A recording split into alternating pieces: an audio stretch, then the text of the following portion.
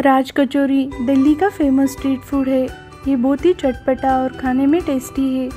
आज मैं आपके साथ एकदम इजी तरीके से परफेक्ट राज कचौरी कैसे बनाते हैं उसकी रेसिपी शेयर करूँगी।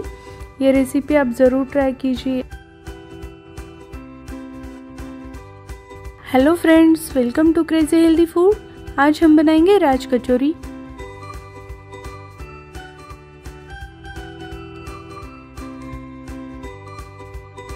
राज कचौरी बनाने के लिए हम पहले आटा लगा लेंगे। मैंने यहाँ पे वन फोर्थ कप मैदा और थ्री फोर्थ कप बारीक सूजी ली है।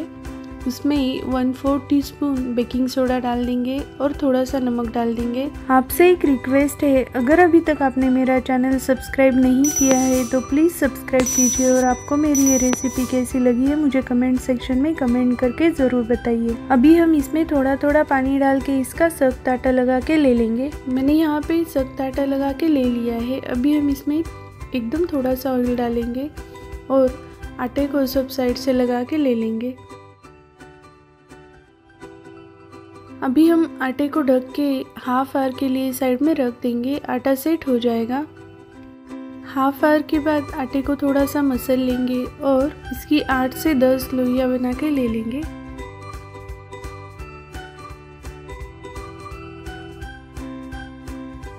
अभी हम आटे की एक लोई लेके उसको पूरी की साइज़ में बेल लेंगे।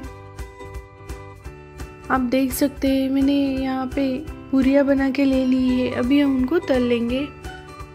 कचौरी तलने के लिए मैंने यहाँ पे ऑयल अच्छे से गर्म करके ले लिया है। अभी हम उसमें एक पूरी डाल देंगे और उसको थोड़ा सा प्रेस कर लेंगे। उसकी वजह से पूरी अच्छे से फूल जाएगी। हम इस बात का ध्यान रखेंगे। जब हम पूरी डालते हैं उस टाइम पे गैस की फ्लेम हाई रहे एक बार कचौरी अच्छे से फूल जाने के बाद हम गैस का फ्लेम लो कर देंगे और कचौरी को लो फ्लेम पे अच्छे से गोल्डन ब्राउन और क्रिस्प होने तक हम उसको तल लेंगे। आप देख सकते हैं, कचौरी दोनों साइड से अच्छे से गोल्डन ब्राउन और क्रिस्पी हो गई है। अभी हम उसको निकाल लेंगे। एक कचौरी तलने के लिए हमें पाँच से सात मिनट लग जाते हैं।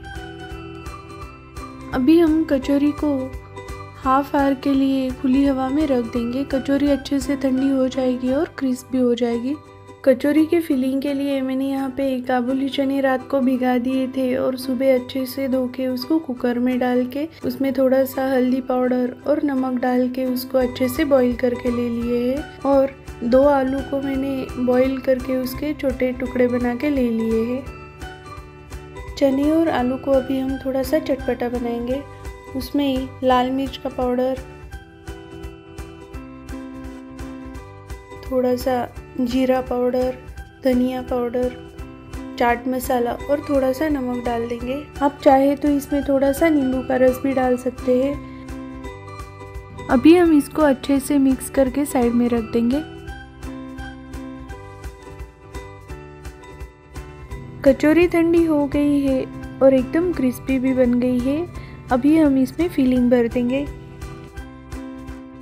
अभी हम कचौरी में दो तीन चम्मच चने और दो तीन चम्मच आलू डाल देंगे। उसके ऊपर बारीक कटा हुआ प्याज और बारीक कटा हुआ टोमेटो डाल देंगे। दही को मैंने अच्छे से फेंट के लिया था और उसमें थोड़ा सा नमक डाल दिया था। आप चाहे तो उसमें थोड़ी चीनी भी डाल सकते हैं। अभी हम तीन चार चम्मच दही इस पर डाल देंगे। दही के ऊपर अभी हम थोड़ी सी इमली की चटनी और मिंट चटनी डाल देंगे। परफेक्ट इमली की चटनी और मिंट चटनी कैसे बनाते हैं उसकी रेसिपी की लिंक मैंने डिस्क्रिप्शन बॉक्स में शेयर की है। आप चाहे तो देख सकते हैं।